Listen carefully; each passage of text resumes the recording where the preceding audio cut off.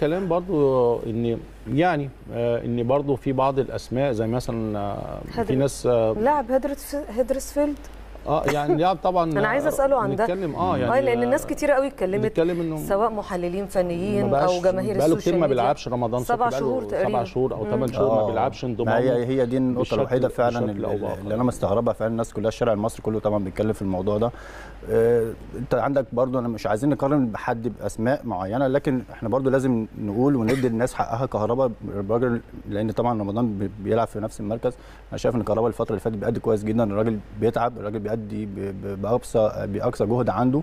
حتى الماتشات اللي اللي ما كان اللي ما كان اللي بعد الإصابة لما كان بينزل كان بيحاول وبيدوس على نفسه. فكنت شايف إن هو كان لازم يستحق يبقى موجود في في المنتخب. كهرباء. طبعا آه آه كهربا طبعا. لأن كلنا شايفين وعارفين إمكانيات كهربا كويس قوي وعارفين قد إيه هو مهم في النادي الأهلي. تفتكر ليه ما ضموش كابتن حسام البدري لقائمة المنتخب يا كابتن هاني؟ والله مش عايز أقول إن هي حاجة شخصية آه، لكن مش عايز تقول كده؟ آه، ممكن تبقى, تبقى لا كده. لا. لو أنت بتقول مش عايزه أقول كده تبقى كده. لا والله بجد يعني بصي أقول لك حاجة. هو آه، كابتن حسام آه، أكيد أكيد عارف إن إن لما هيعمل لما ياخد خطوة زي دي أو إن هو يعلن عن إن هو ما ياخدش كهرباء وياخد لما أكيد عارف إن الرأي العام كله هيتكلم في الموضوع ده. وجمهور الأهلي الحمد لله واقف في ظهر لعيبته كويس قوي وعارف إن لو حاجة زي دي حصلت الناس كلها هتتكلم في الموضوع والكلام ده.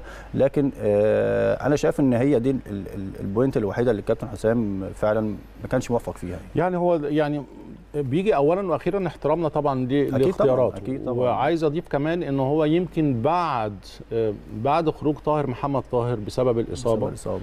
دي كانت نسب كمان كهرباء بتزيد أكتر بالظبط. ويمكن كمان كابتن حسام في المؤتمر الصحفي كان بيفكر وقال طبعا بعد إصابة إصابة. طاهر محمد طاهر بفكر إن أنا أضم كهرباء لكن خلينا نتكلم إن طبعا كهرباء يستحق ودايما بنقول إن قائمة المنتخب هي آه، مسؤولية المدير الفني بشكل كبير وإحنا ورا المنتخب بشكل كبير لأن ده بيمثل مصر وإحنا أعتقد الماتشين صعبين جدا. فبالرغم إن إحنا بنقول وجهات نظر وإنت يا هاني بتتكلم باسم اسم أكيد، الناس اللي أكيد. بتتكلم الجمهور واحد من الجمهور. رمضان بقاله كتير ما بيلعبش فكان ممكن يتجهز حتى على مستوى المنتخب الأولمبي. كان راح مثلا المنتخب الأولمبي لعب ماتشين أو لعب ماتش من ضمن ماتشات المنتخب الأولمبي. فكل دي يعني كلها آه، بنتناقش فيها لكن طبعا ده لا يمنع إن الكابتن حسام البدري ليه طبعا ال- وجهة نظر. وجهة طبعاً، نظره أكيد. وهو ليه الاختيار الأول والأخير يعني. بالظبط بس إحنا كابتن برضه كابتن آه كابتن هاني يعني ما ينفعش تاخد برضه واحد بقاله أكتر من ست شهور أو سبع شهور مش عارف ممكن تكون المدة أكتر من كده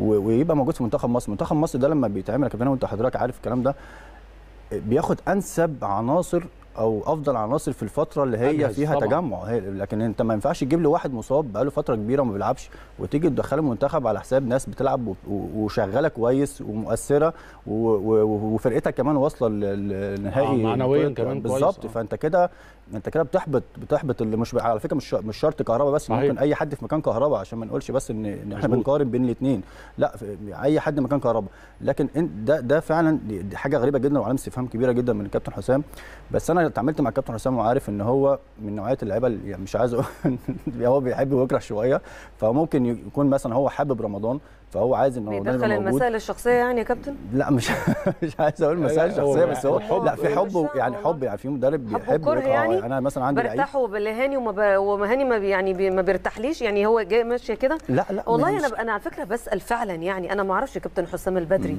ولا أعرف بيفكر إزاي. أنا بسألك أنت أنت بتقول أنا اتعاملت معاه هو ممكن- وأعرفه شوية. هو ممكن يبقى عنده اقتناع مثلا بالكابتن هاني الكابتن هاني ده لعيب كبير جدا تمام؟ واللعيب ده بوجوده حتى لو هو مش هيلعب ده بيبقى ليه تأثير إيجابي على ال- على ال- على المنتخب أو على الفرقة. فدي طبعا حاجة ما ينفعش أنت تطبقها في المنتخب.